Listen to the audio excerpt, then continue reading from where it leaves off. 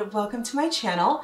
Today I'm going to be sharing some fun little gift ideas with Valentine's Day around the corner. It's a nice occasion to just acknowledge the people that you care about in your life. So I thought I would share a couple of gift ideas that are pretty universal. They're in the kind of home decor, home goods section, and they're pretty inexpensive and easy to make. So the materials are gonna be around $5. So you can make as many of these as you like and give them to your friends and family or significant other for my first project, I'm gonna be working on a candy dish and I just got this dish at the thrift store. It was a dollar and you can find any kind of dish that you like from there. It doesn't have to necessarily be glass. It could be wood or plastic or ceramic. You can also check out the Dollar Tree or Dollar Store as well and find something you like there. Or maybe you even have something at home that you can upcycle. This was probably an ice cream sundae dish and I just thought it had a really cool shape to it. It had this stem with a wide bowl, so really you can be as creative as you want. For the paint colors, I'm gonna be using a gold and black paint, and you can use any kind of combination, but I just think that one's pretty classic. For example, with gold, you can also pair any sort of deep tones like maroon or forest green or navy. Now to start, I'm just going to spray paint the whole dish gold, outside and inside, using this Paint and Primer Vintage Gold. This gold was a little bit too yellow for what I wanted, so I switched to an old spray paint that I had, Valspar Brilliant Gold, for my second coat. Now for this dish, I'm not going to paint a pattern on the outside because I think it would compete with the pattern that's already etched in the glass. So I'm just going to paint the inside with black acrylic paint and I'm trying to keep my brush strokes as smooth as possible.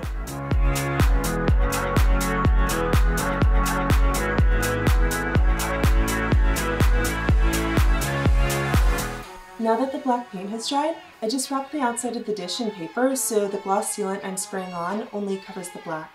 The outside doesn't need a sealant and I don't want it to be glossy.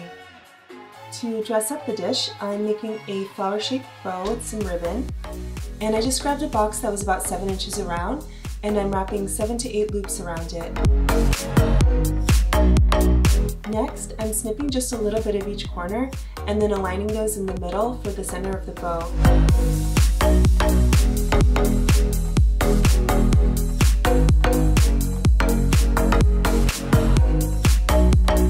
And to hold it together, I'm using a twist tie. Now I'm starting on one side and pulling out the innermost loop with a little twist and alternating left and right.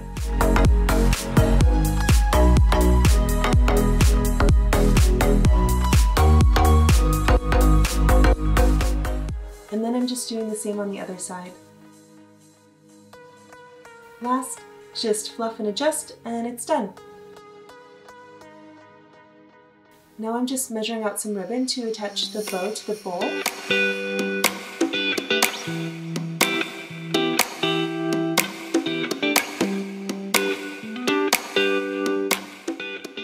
And each strip is going around opposite sides of the stem, and I'm tying the ends together before pulling them up around the bowl. And then tying those opposite sides together.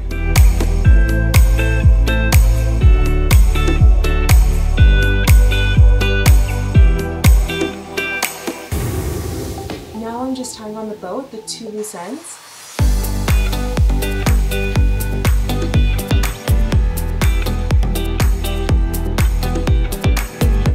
Pouring in my chocolate.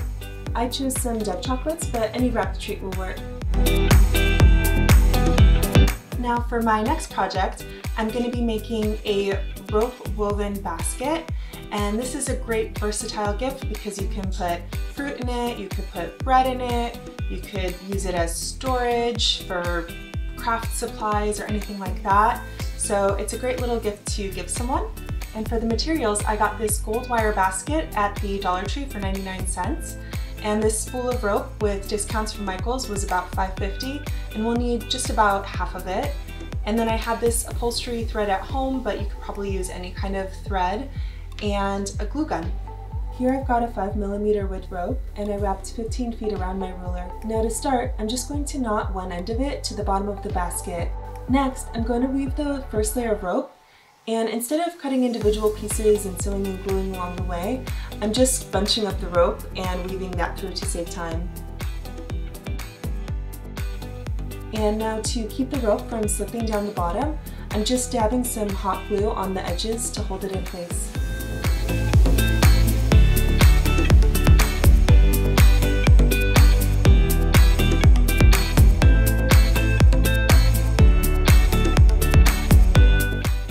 Once the glue is dry, I just keep on weaving over and under around the basket.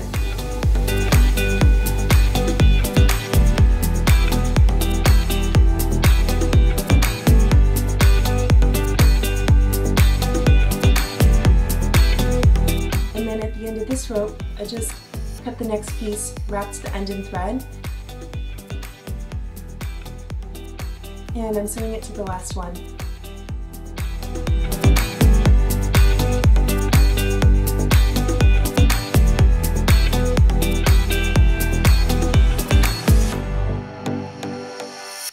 Keep going until I reach the end and sew that in place.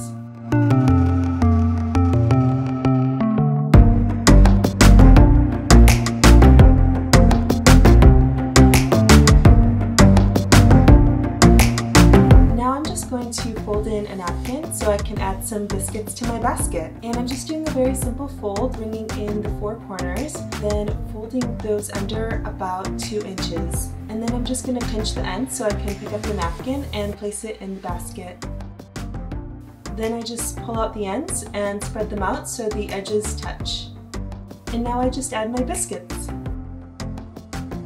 And you can add whatever treats you like, and then you can close the flaps. Now for my last gift idea, I found this really beautiful jar at Marshalls and it was only $2.99. The size is 40 ounces and I really liked it because it has this cool etching in the glass and this beautiful copper top that just twists on and off. And for this jar, I thought it would be cool to fill it with your gift recipient's favorite cookies or tea or other goodies that they enjoy. Now to make it a little extra special, I thought it'd be fun to add some decoration to it that was still nice but removable and not use paint or glue or anything that would be stuck onto it. And so to get started, I have some elastic lace trim and little decorative flowers from the fabric store. And I'm just measuring the lace around the jar to cut it. And then when I sew the ends together, it'll shorten the lace and then tighten the elastic so it holds snugly against the jar.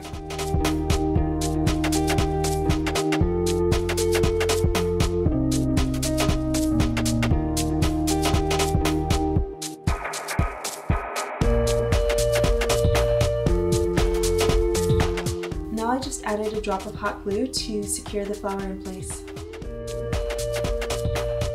And next, I'm going to make a little fold-up card that'll be a three and a half inch square with sides that fold in and through a top that folds over.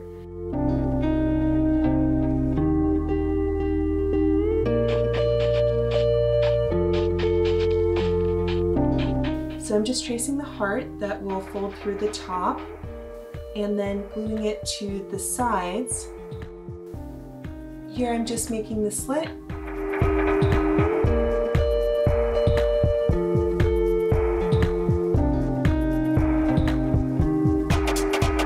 And then putting it all together. Now it's time to add some treats.